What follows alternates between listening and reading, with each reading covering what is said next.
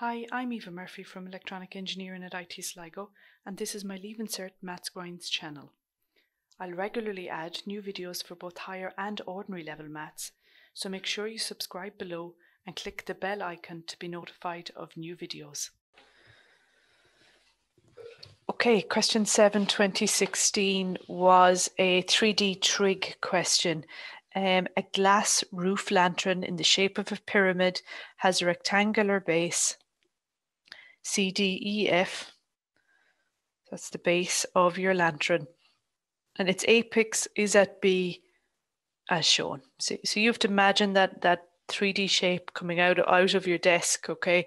Do not make the mistake of, of, of seeing it as a 2D flat shape with a rectangle and a triangle on the top, okay? Um, make sure you see it as a 3D shape coming up out of the table at you, where B is that pointy piece at the top.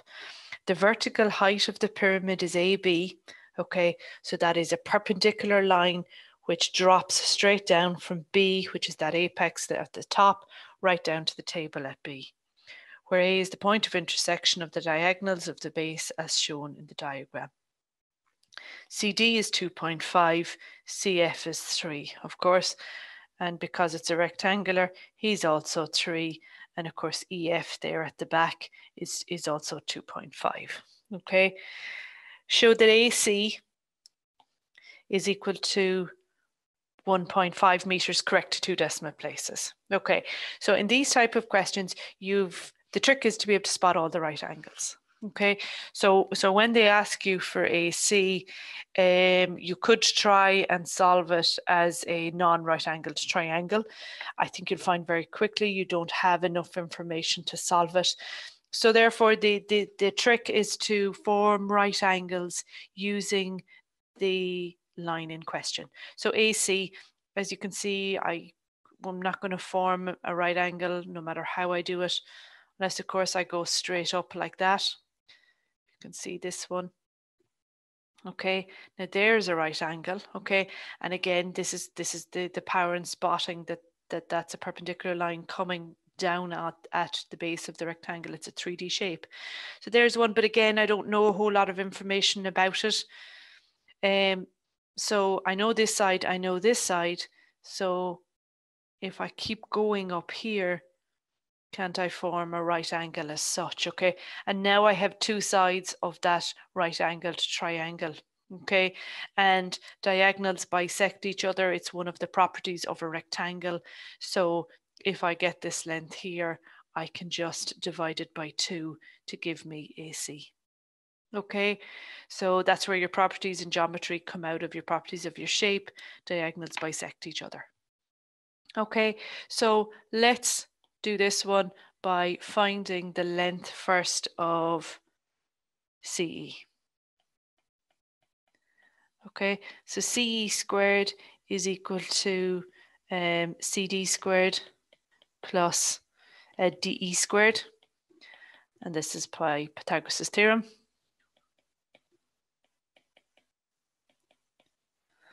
So it's equal to CD squared, so 2.5 squared plus 3 squared. Just grab my calculator, 2.5 squared plus 3 squared. And I'm getting 15.25 for that. Let's square root that to get the length of CE.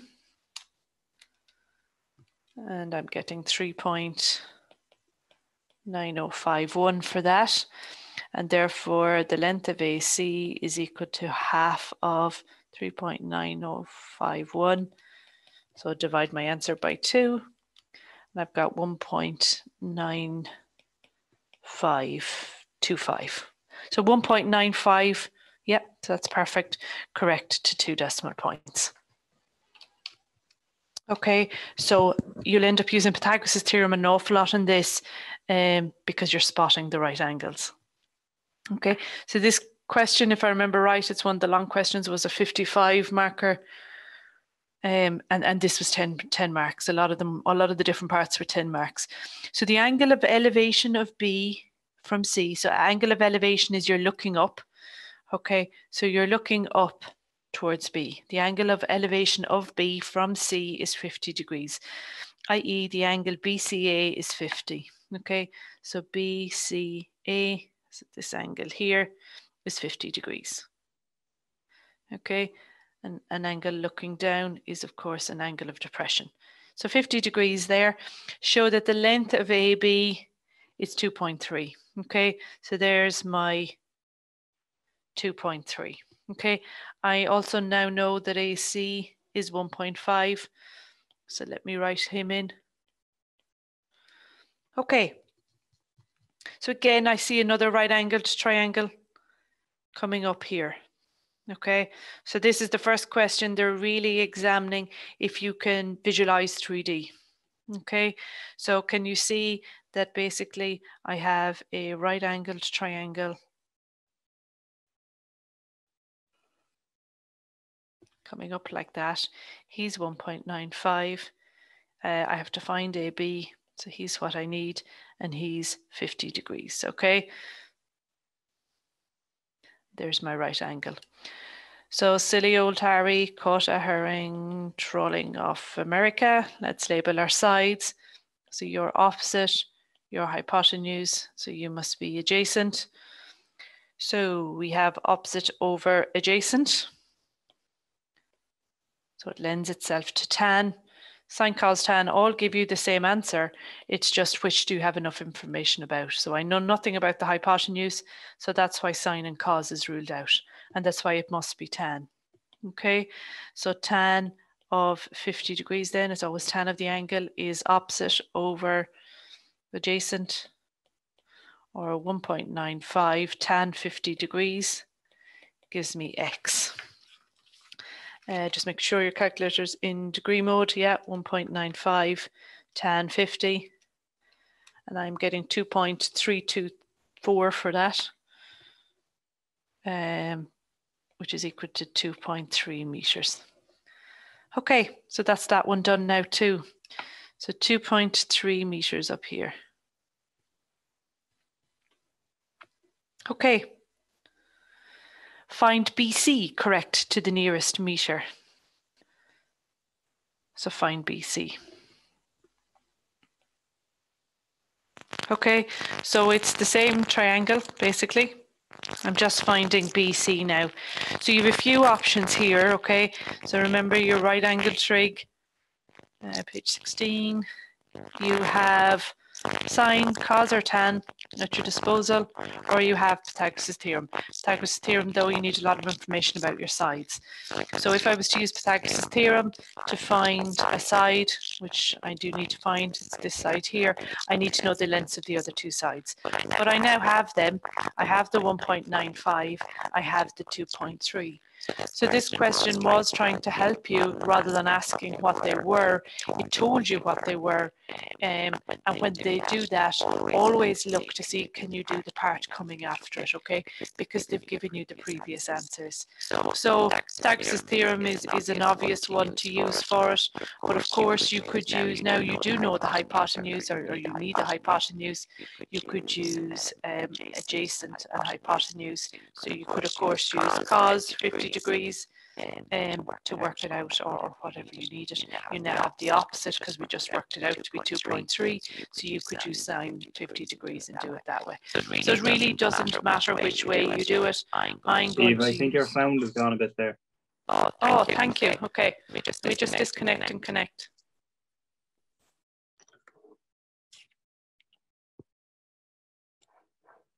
Is that any better, guys? Any feedback? Yeah, that's good. Okay. Yeah, that's fine now. I've just taken the headset off. Okay, so it's just computer audio. So let me know if it if, if it starts echoing. Okay, so I'm going to use Pythagoras' theorem for no other reason at all. It's probably even the longest way of doing it. So BC squared would be equal to AC squared plus uh, AB squared. Okay, um, so it's 1.95 squared was one of them, 2.3 squared was the other one.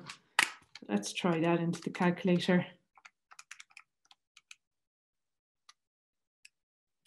So I'm getting BC squared.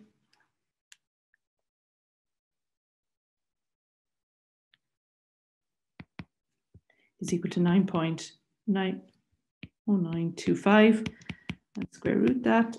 So square root answer and I've got 3.01. Did I have to show it was equal to anything? No, I had to find it to the nearest meter, okay? So to the nearest meter, that's equal to three meters. Okay, uh, you can of course use sine cos tan, no problem at all. Well, sine cos. Okay, so again, I hope that makes sense. You can see that, I suppose the good thing about these questions is that the actual mechanics, the trig questions aren't too hard. The difficulty in these type of questions is being able to spot those right angles, okay? And some are just naturally better at, at seeing them than others. And especially if you do um, any one of the construction or, or drawing type modules, even in junior cert, you will be naturally able to see them better, okay? Um, and if you're not, you just have to look out for the right angles, okay? Um, I, I, which is what I have to do. I don't naturally see them. So find the angle BCD. So where are we now? BCD.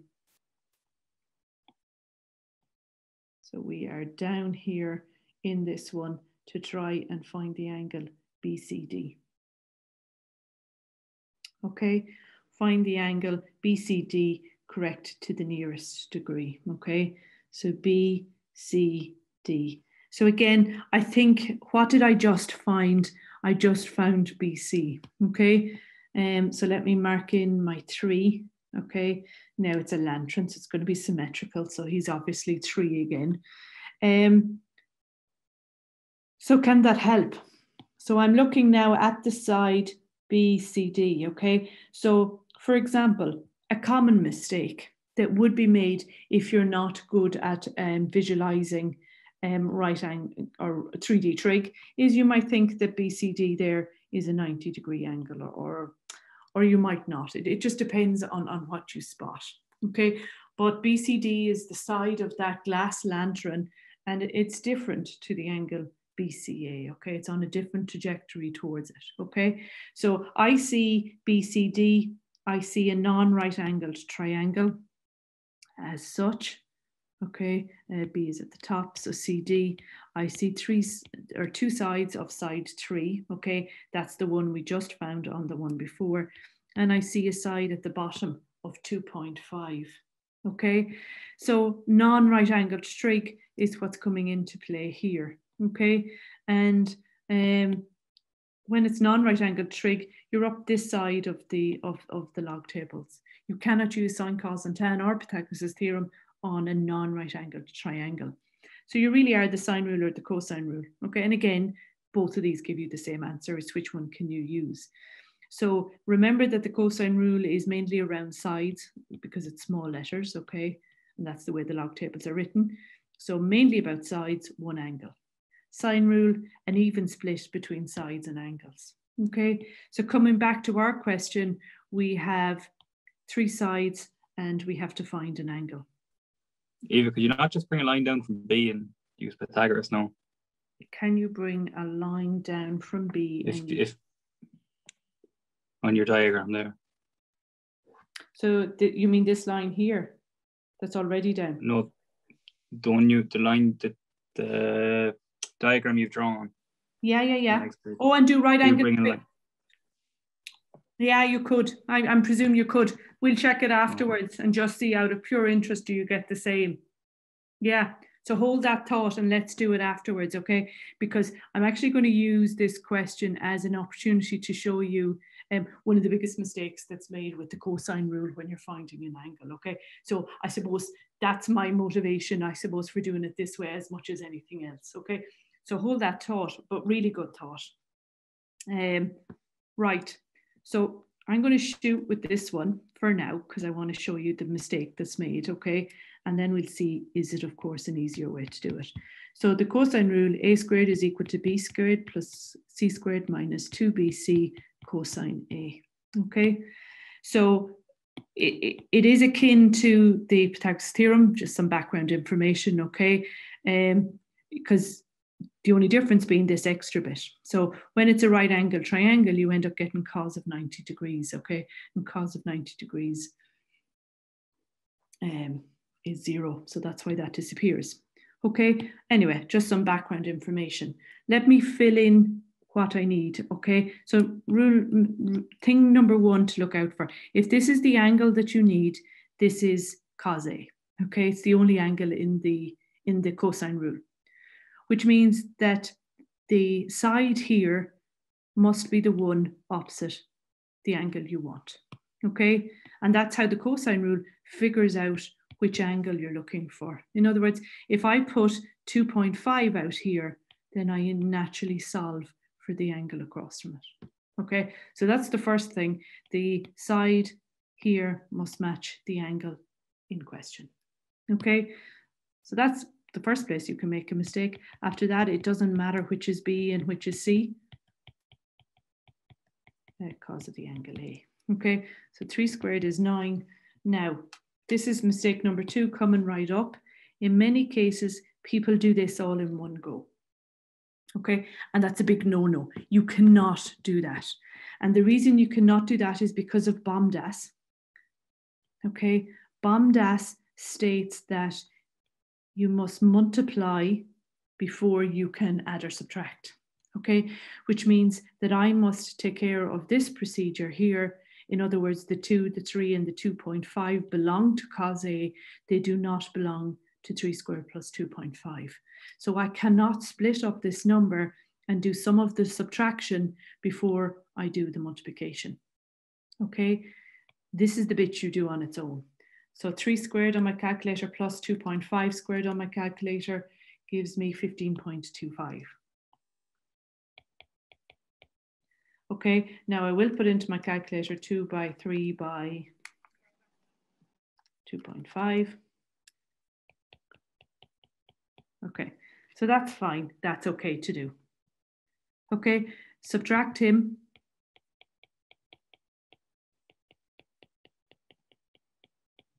So 9 minus 15.25 and you get minus 6.25 being equal to minus 15 cos A, okay? So obeying the rules of BOMDAS, which is the order of operations, the order you must do your maths in at all times, okay?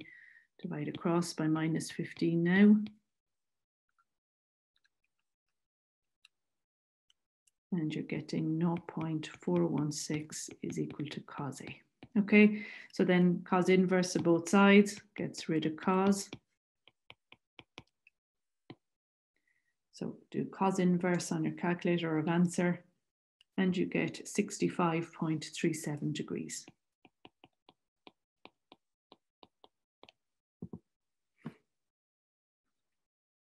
Okay, and to the nearest degree then, of course, 65 degrees. Okay, so the question was, can you drop down a perpendicular there from B and will you get the same answer? Okay, so let's try that. So let's draw our triangle, okay, three, three, and of course 2.5. And let's drop down a perpendicular, okay? And because it's an isosceles triangle, it's going to split the bottom into 1.25 and 1.25. Okay, and use right angled trig here. Okay, so again, label your size, so he's your hypotenuse, he's your opposite, and he's your adjacent, okay? And we want to solve for the angle this time. And um, we know nothing about our opposite. So again, write out your verse, silly old Harry caught a herring trawling off America. So we know nothing about the opposite, so it's going to lend itself to, to cos. So cos of the angle equals adjacent over hypotenuse, uh, cos inverse of both sides.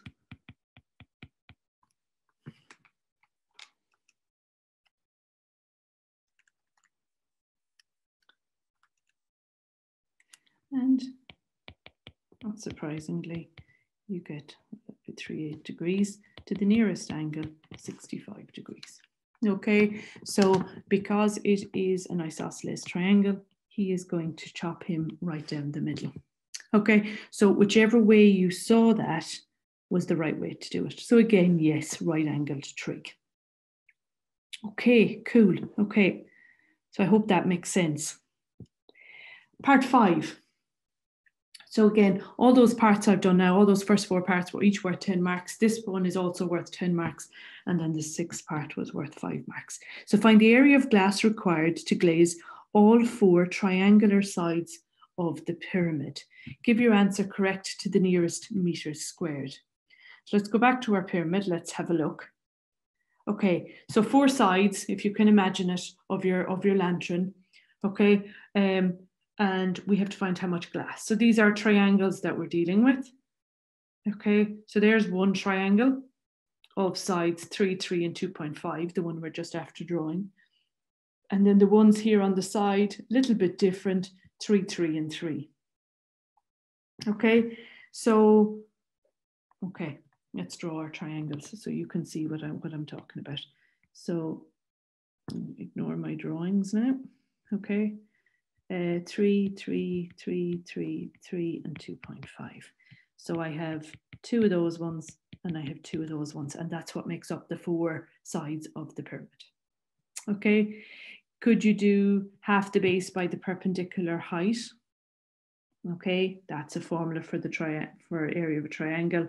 You would have to know your perpendicular height, which is this one here. Now, not hard to find it again, very much um, using right angle trig. You can, of course, find that, especially now that you know the angle is 25 degrees, okay? And you can do the same on the 333 one because the angle there is going to be 60 degrees because it's an equilateral, equilateral, equilateral triangle, yeah. Okay, so each of those are 60 degrees. Okay, so you can do it and find the perpendicular height. And then it's half the base by the perpendicular height. Or of course, you can do half AB sine C, okay, which is the area of a, I suppose, an, a triangle where you don't have the perpendicular height, but you do have what's called the included angle. Okay, so if you're taking two sides, you have to take the included angle. Okay, that's what that means. So take A, take side B, but it has to be what's called the included angle, the angle that's in between the two sides. So I don't know if you saw it there at the start. I had the other versions of this written down. I could have written down half AC, but it'd have to be sine of the angle B because B is the included angle there. And of course, I can go the other way too, half BC, but it'll have to be sine of the angle A. Okay, so don't you you don't have to get too bogged down on what's A, B, and C. Okay, so in this one here, we have 65 degrees um, I'm going to just simply go half A, B, sine 65 degrees. Okay, and for this one, half A, B, uh, sine 60 degrees here. Okay, so let me put them into the calculator. Let's figure out what they are. And of course, I have to multiply each of these by 2. So 0.5 by 3 by 2.5 by sine 65 so I have 3.3987. And then let me go back and change that 2.5 to 3. And the 6 line at the end. Really quicker to write it all in again. 3.897. Okay, so by 2 and by 2. 7.794.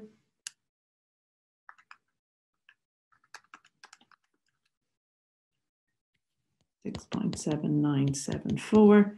Add them together. And I'm getting 14.5914. Give your answer correct to the nearest meter. So 15 meters squared okay, is the amount of glass that is needed for the um, four sides of that pyramid. Okay, I hope that's okay.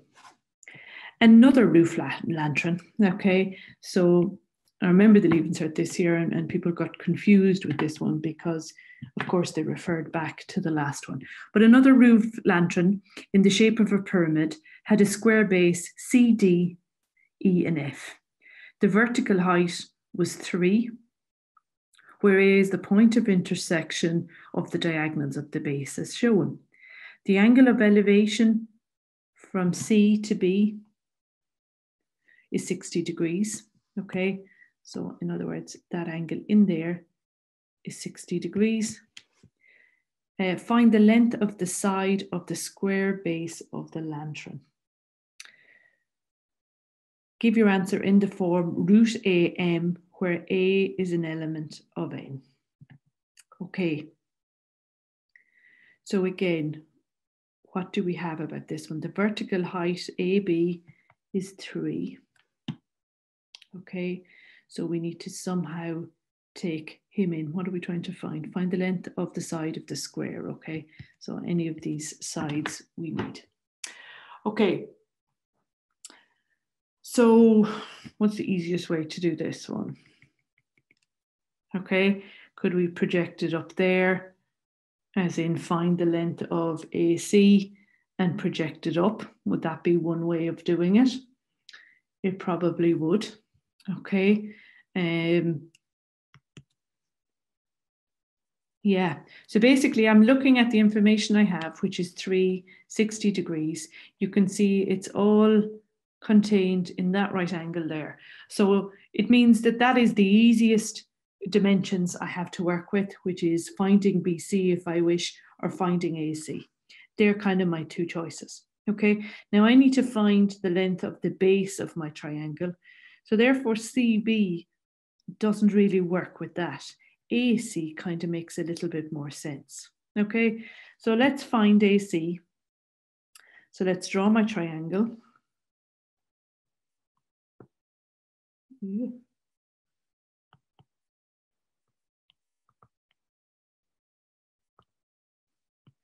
So he's three, he's 60 degrees, and he's my right angle.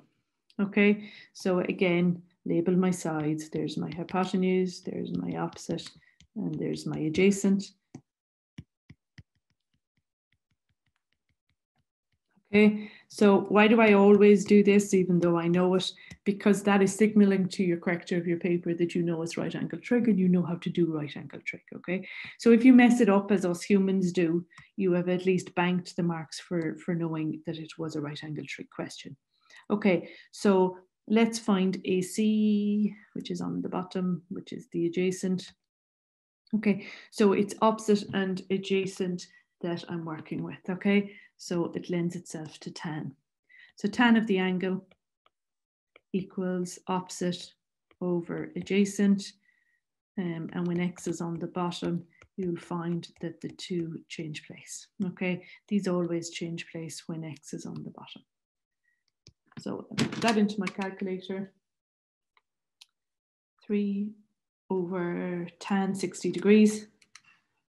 I forgot to close my bracket and I'm getting root three. Okay, so that length there is root three. Okay, so you can see my natural instinct was to extend that up there and form a right angle there that contains the two sides. Okay, um, so what are the properties of a square, as in the diagonals? Okay, so diagonals again bisect each other on a square but because length and width are identical, then they are literally all the same length. Okay, which means therefore that um, CE must be 2 root 3. Okay, I have a root 3 here, I'll have another root 3 up there, so that's root 3. Okay, so let's use Pythagoras' theorem now on this one. Okay, so even though I don't know either side, it doesn't matter because the length of both sides are the same. So therefore I have CE squared is equal to CD squared plus DE squared, okay? Just writing out the formula in case you're looking back at the video and you can see the sides that I'm taking. So I have two root three, all to be squared, is equal to x squared plus x squared. Okay, make sure you put the two root three into, into a bracket so that the two as well as the root three gets squared, okay? If you don't put the bracket there, what ends up happening is the root three gets squared, but not the two, okay? So you'll get 12 for that is equal to uh, 2x squared. Divide across by two. So x is equal to root 6. Okay, and it said to leave it as a surd.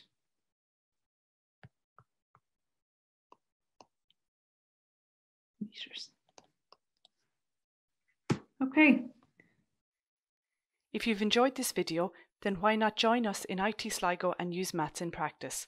In conjunction with industry, we've designed an exciting new program in electronics and self-driving technologies, which uses cutting-edge techniques such as artificial intelligence, computer vision, and virtual and augmented reality. You'll need a H5 in maths to qualify. Check out the link below.